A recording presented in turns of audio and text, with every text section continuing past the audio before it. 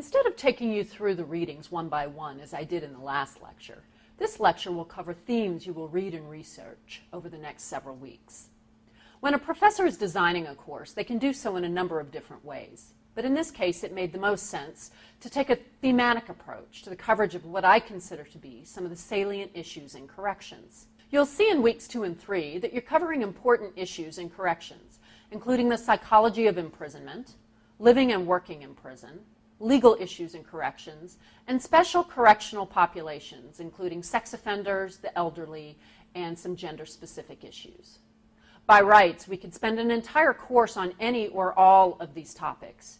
Each in their own right are important and complex issues that have significant impact on how the system operates. Prisons are societies very much like the ones we live in. The primary difference is that prison societies are comprised of like people, that is, people who've been found guilty of a crime. The larger society we live in is much more diverse, isn't it? And if prisons are societies, and they are, they have rules and standards and methods of formal and informal social control. For many people, they want those who have broken the law to be imprisoned. Perfectly understandable. But in many cases, people do not give prison a second thought, and they should. While it is nice to think that the bad guy is off the street, the place where the bad guy is being housed for the four years he is off the street has a significant and direct impact on how he views the world. This is the psychology of imprisonment. This is a real and important phenomenon, and one that we as a larger society must consider, given the number of people we incarcerate, and therefore the number of people released from prison to the community on a regular basis. We are short sighted as a society if we do not consider the ramifications of locking someone up in prison and how that impacts them while they are incarcerated and when they are released. Working off the premise that prisons are societies in and of themselves, we must explore in some detail the inner workings of that society, how it functions, and what the power dynamics are between the citizenry of that society. Prison society is comprised of inmates and workers. The guards, as well as the inmates, are the citizenry of the prison world. Therefore, it behooves us to take a moment to explore the inner workings of the relationship between these two groups. Prisons were created to deprive one group of liberty, that would be the inmate. In order to do this well, this requires constant and continued oversight by another group, that would be the guards. Therefore, power relationships form the foundation of the prison world. Take special notice of how each group, both inmates and guards, attempts to exert power over the other, and how, until fairly recently, the ability of the guards to abuse that power was unlimited. Once we have established the macro level function of the prison, that is, prison as a society, we need to take a micro level view of who the prison houses. While prisons may be homogeneous in the sense that they incarcerate people who have been found guilty, it is there that the similarities end.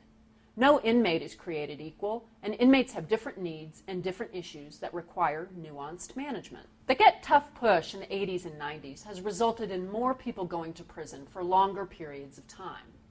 This, in turn, has resulted in the graying of the prison population.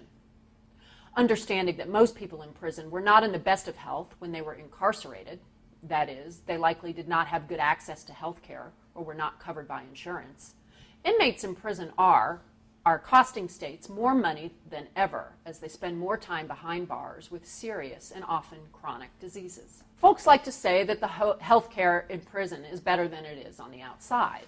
My response is usually to say that I would much rather pay to have someone's sexually transmitted disease, or HIV, treated in prison than allow them to spread the disease on the inside and then ultimately on the outside when they leave. Specialized offender populations also require special care.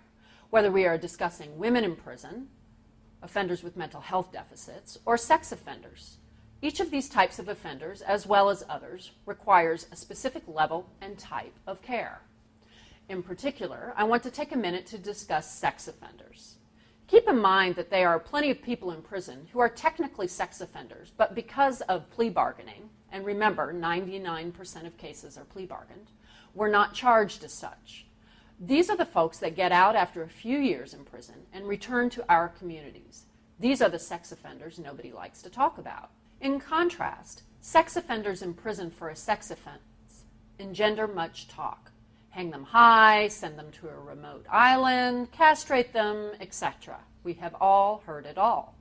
But with few exceptions, and I'm talking about those who are civilly committed, these sex offenders will also leave prison and move back to our communities. The treatment and counseling that they receive in prison can be beneficial to some, despite what most people think. So, as you can see, reading through your week two and three readings, keep the following in mind. Prisons no doubt serve a purpose, but they have real psychological and physiological implications for those who live and work there. Coupled with differences in gender, crime type, and health concerns, prisons are complicated places with complex needs under constant scrutiny. Hopefully, a more nuanced understanding of the myriad issues facing prison will provide you with a healthy respect and appreciation for the people who work there and an informed view about the people who live there.